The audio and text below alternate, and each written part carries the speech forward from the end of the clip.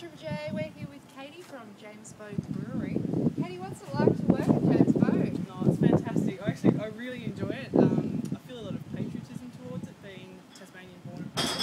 Um, the conditions are fantastic. Uh, I just, it's great. You get to meet lots of wonderful people. Clearly.